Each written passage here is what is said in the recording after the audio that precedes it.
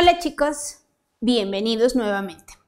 Hoy en español, eh, perdón, en matemáticas, ay, gracias, en matemáticas vamos a ver dónde cabe más y dónde cabe menos. ¿Sale? ¿Recuerdas que la semana pasada nosotros estábamos hablando sobre el peso y utilizamos una balanza para comparar pesos? De dos objetos. Si te acuerdas que trajimos una balanza y tú también elaboraste una balanza, ¿verdad? Perfecto. Bien. ¿Te acuerdas que también, este, cuáles eran los, las unidades de peso? Oh, perfecto. Es el kilo, el gramo y si hablamos de unas eh, cantidades más grandes, pues podemos utilizar la tonelada. ¿Si has escuchado eso? Perfecto. Bien, pues ahora vamos a hablar de la capacidad. ¿Qué es la capacidad, chicos? No te preocupes. La capacidad es la cantidad de líquido que cabe en un recipiente. ¿Ok? Ahora vamos a ver, ¿cabe más o cabe menos? En estas imágenes yo tengo cuatro imágenes las cuales las vamos a acomodar de donde cabe más a donde cabe menos. Ok, tengo un vaso, tengo una botella, tengo un, este, un rotoplas, un, tanque grande de los que tienes arriba en casa y una botella de perfume. ¿Ok? ¿A cuál de estos les cabe más? Perfecto, le cabe más a un tanque rotoplas, ¿verdad? Bien, ¿cuál, se, cuál otro este objeto pues le cabe más de estos tres? ¿El vaso, la botella o la, el envase de perfume? Bien, la botella, perfecto. Ahora nada más nos quedan dos.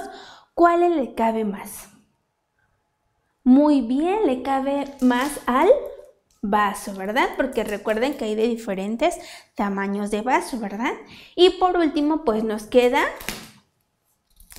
la, el envase de este perfume. Bien, pues como te vas dando cuenta, dónde cabe más y dónde cabe menos. Si hacemos la comparación de estos dos, pues vemos que el rotoplas le cabe más que a la botella. Si hacemos la comparación entre ellos dos, definimos que el que le cabe más es a la botella que al vaso, ¿ok? Y si hacemos la comparación de estos dos, ¿cuál, cuál le cabe más? Bien, pues le cabe más al vaso. Muy bien. En esta este, unidades de medida utilizamos lo que son los litros que más adelante pues vamos a ver. ¿Ok? Entonces, tú puedes hacerlo en casa utilizando diferentes recipientes que tengas, diferentes contenedores. Puedes acomodarlos de acuerdo a la capacidad que tiene.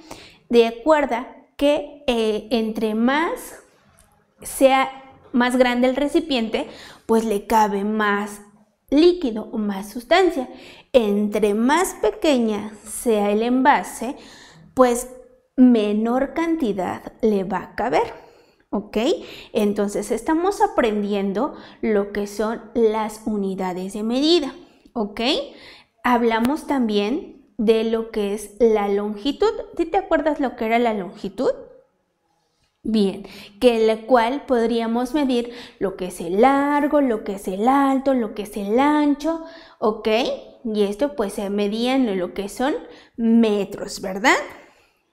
Muy bien, ya hablamos también lo que es la masa, que, que es lo que mide un cuerpo, ¿verdad? O lo que pesa más bien un cuerpo. Y este pues utilizamos la medida del kilogramo, ¿ok? Acabamos de ver dónde cabe más. ¿Ok? Hicimos la comparación.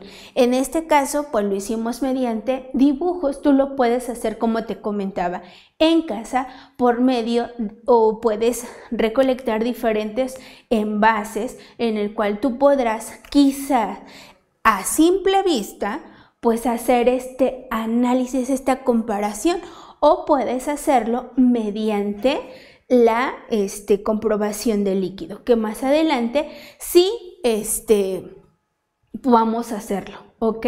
Espero esta información pues te haya sido útil, puedas aplicarla y no nos quedemos en ese, este, sigamos investigando, ¿sale? Para poder enriquecer nuestro conocimiento, ¿ok? Nos vemos más adelante.